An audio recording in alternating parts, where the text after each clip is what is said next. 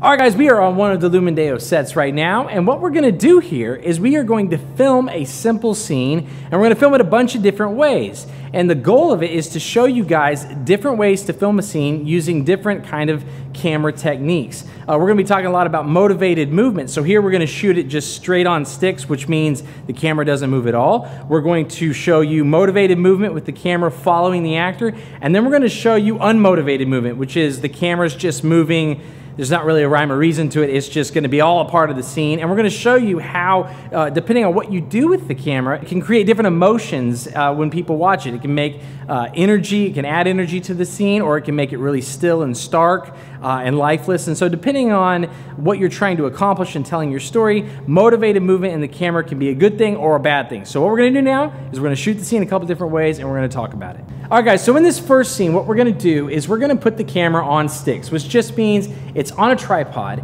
and it is not going to move. We're going to set the camera up, we're going to make sure our framing looks good, and then we're just going to leave it there in the whole shot.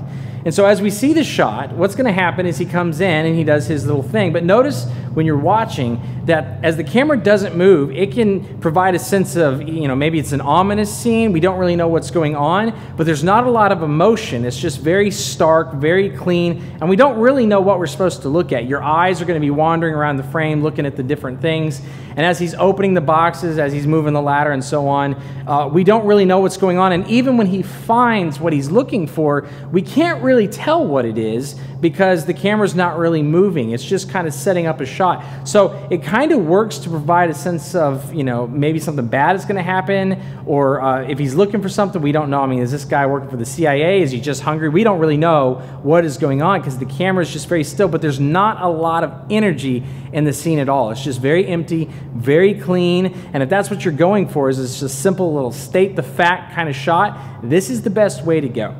All right, so in this second shot, it's much like the first, but there's going to be one little change and that is that the camera is going to move. And what's going to happen is, as Andrew comes into the shot and we see it, the camera's very still at first, nothing's really happening, and the camera's not going to move until Andrew gets to the edge. When he gets to the edge, it's almost like as he approaches the side of the screen, the camera is going to turn and follow him. And it's kind of allowing the actor in the scene to motivate the camera to go that direction. And the reason why we're doing that is because the audience is going to want to know where is he going? What's he doing? As he approaches the side of the scene, it makes you you feel uncomfortable because we want to know what's what's he doing and we don't want him to disappear. So it's almost like the camera is forcing itself to follow the actor which is great. And then as he's going through the rest of the scene he opens the boxes he does the ladder and all that. But as he leaves the scene notice that once again the camera now follows him for a short way as though the actor is again almost pushing the camera to follow him where he's going. And so it's motivated. The camera's not just moving for no reason. There is a reason and that is the actor is moving the camera where it needs to go.